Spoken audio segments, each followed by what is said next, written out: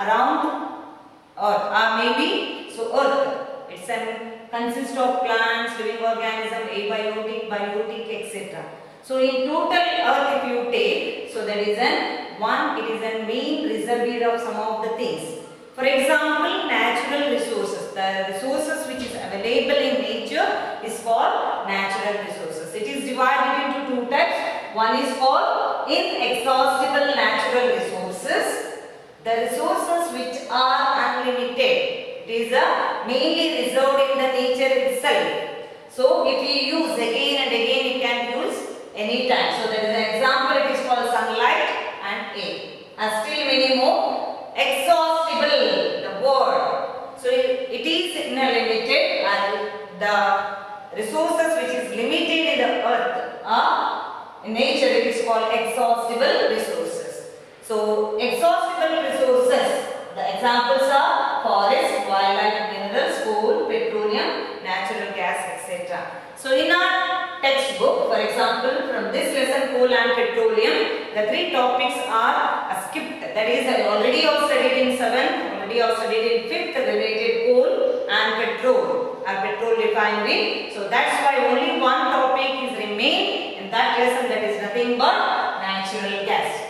So, but still, inexhaustible resources that is sunlight, air. Sun is a major resources present in the natural resources that is inexhaustible if you are human activity. So, if you are using again and again also it will be remain in the earth that is called the reserve. Exhaustible by human activity it is depleting day by day. It is less in amount. Once it will deplete never. It takes billions of years. For example, forest, wildlife. So already we have studied the lesson called conservation of forest. So if there is no tree, so what are the uh, threat for the human being? We learned already related wildlife, minerals, coal, petroleum and natural gas. So in inexhaustible, inexhaustible and exhaustible. Exhaustible resources like uh, coal, petroleum and natural gas because we are studying coal and So how the coal will form. For example, it takes billions of years.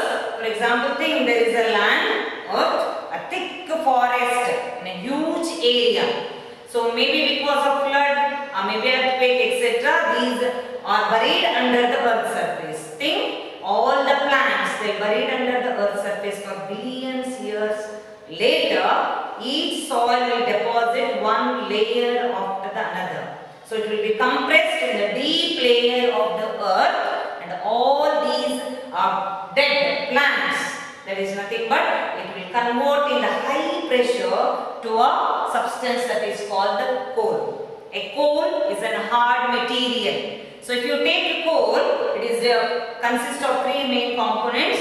So we can do that three components we can produce that is called coal tar, coal gas and coke. These are the three materials from the uh, thing or from a substance called the coal. So it is in hard in structure, black in structure, that is nothing but coal. So if you come to petroleum, coal, petroleum and natural gas, it is one related to another. So we are studying petroleum and natural gas but only for you to study the natural gas topic.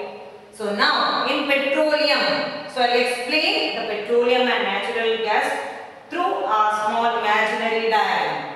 Natural gas, we are studying the topic for billions of years ago especially. So in the, on the earth surface, for example all the plants will die including algae and aquatic organism inside the water. So they settle in the a deep layer of the sea. So what will happen? Each year after year, so it will settle in the deep layer of the sea ocean. After that, so in sea especially, the rock in between, so it will deposit in the rock. So when all the plant, for example algae or microorganism animals, all it will die, it will settle in the bottom. So when it will be in a high pressure, if it will be compressed. For example, think or it will die here. So that there is a high pressure and high temperature. So the temperature will be very high and high pressure. Both brings each layer near. So when it will come very compressed or near, so there is a separation of water, oil and gas.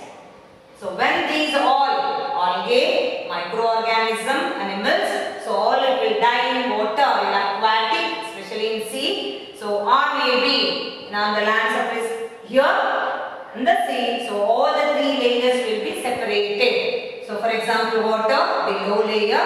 The next one is called the reservoir rock. Reservoir, uh, reservoir rock.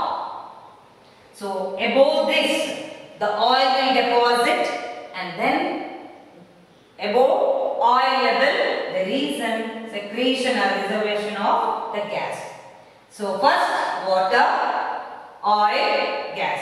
When all these uh, dead organisms will deposit with a high temperature and high pressure, they will be compressed. So it will convert into a gas. So that's why it is called compressed, compressed natural gas.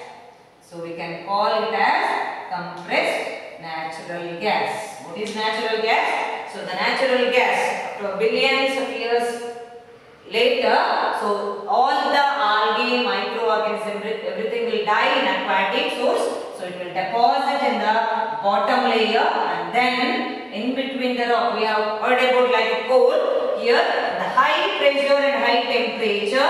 So all these will convert into oil and remaining that will convert into an upper layer gas. So this is called compressed gas, nothing but compressed natural gas. It consists of different uh, methods, especially it consists of methane, liquefied petroleum gas, what we are using in our home. So that is called LPG, consists of propane. You are going to study in chemistry higher section what are the uh, uh, matter or maybe the uh, chemical components. So this is a compressed natural gas. So how we can detect? So using a detector, so they will absorb so the laser light and the sound. So can detect where there is a presence of natural gas or maybe oil and it will be pumped out by using pipes. So heavy pipes will be used.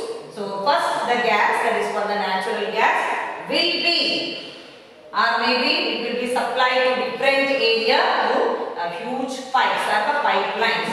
The second one oil. So here the petroleum. Petroleum consists of petrol and diesel. Petrol, rock, oleum, oil. So in between the raw component, so there is a secretion of oil uh, because of the death of some organism are compressed in a high temperature and uh, pressure. So that is called, so these are called the fossil fuels. So these fossil fuels used by everywhere, especially in Gujarat, uh, maybe Delhi, etc. All the pipelines, the CNG, why it is used? It is a non-polluting. So non-polluting the atmosphere, that's why we are using. And it gives a high heat when you are comparing to etc. So it gives a high amount of heat also for. So in our daily life we are using. So maybe in our houses. So in especially in kitchen we are using and to produce uh, electricity and also it is used in different vehicles. To run different vehicles also we are using compressed natural gas. So it is not easily available because it is comes under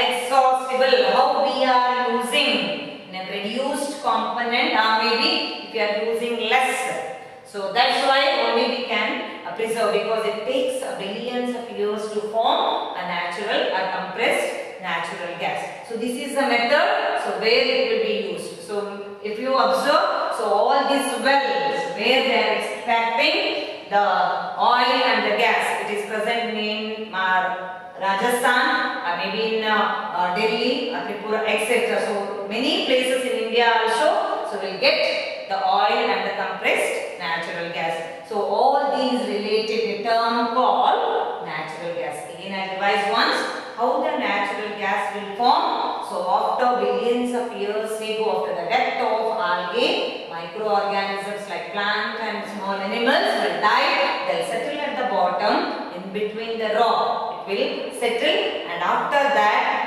so if the soil will deposit, it will convert into coal after the deposition of sand and clay. Keep in your mind, sand and clay. So I, with the high pressure and high temperature, so it will convert into oil and natural gas. That's why we are using, it is a non-polluting fossil fuel, especially natural gas. So if we are using how we can use in a limited resources, let us study one by one. So now we have studied already what is natural gas or compressed natural gas. How you will get a natural gas or oil. The next one, so if it is limited, so already it is limited in nature. So if you use maximum of all the fossil fuels, like if you burn coal, in kitchen or maybe uh, while using, uh, while cooking food, etc.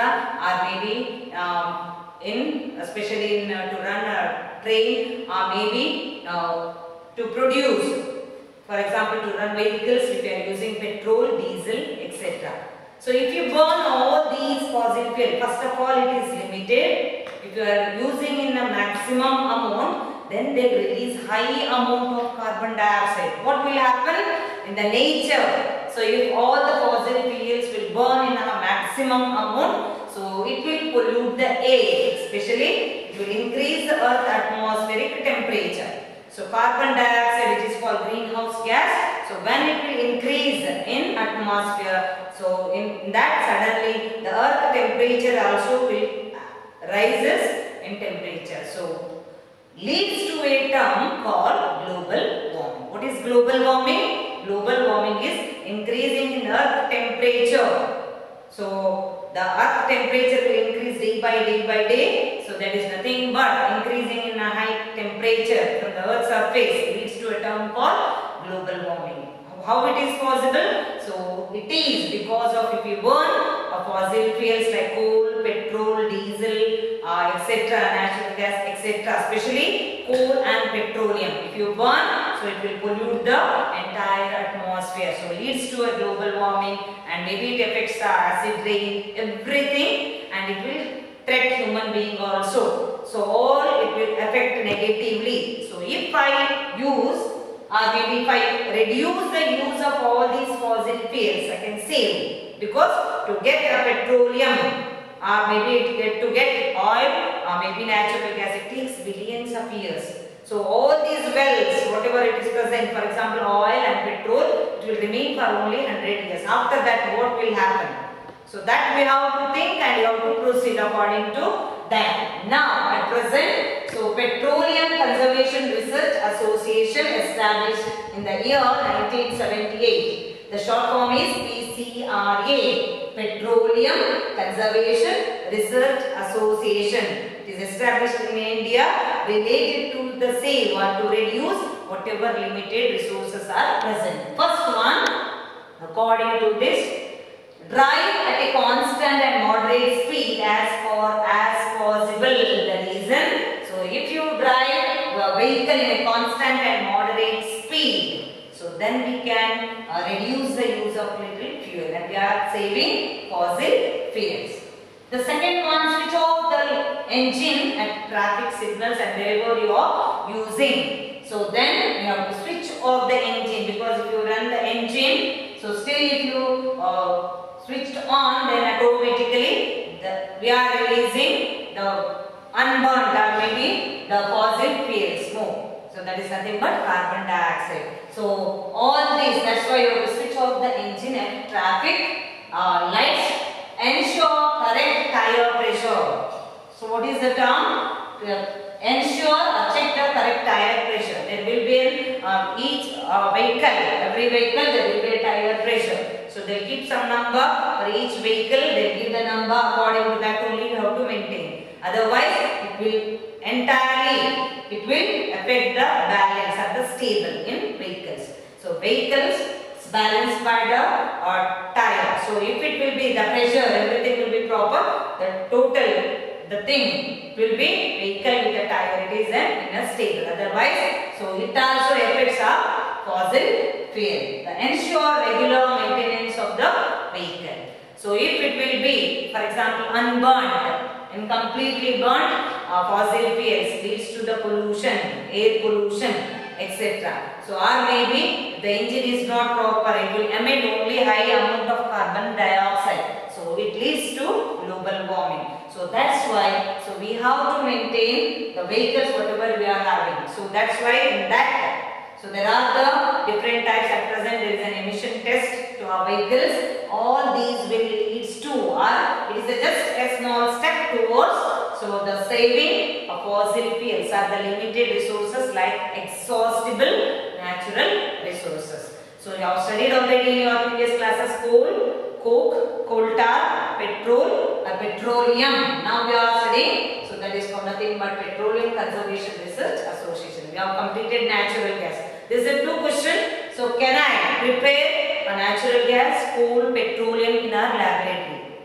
No, because it is a slow process. It takes billions of years for the formation of coal, petroleum and natural gas. So that's why we cannot prepare, we cannot produce in our lab. So that is the one question. And petroleum, petro means rock, oleum. So that's the word, both the two words oil. So they deposit under the rock surface. So that is the word given for petroleum. So we have completed a chapter called coal and petroleum.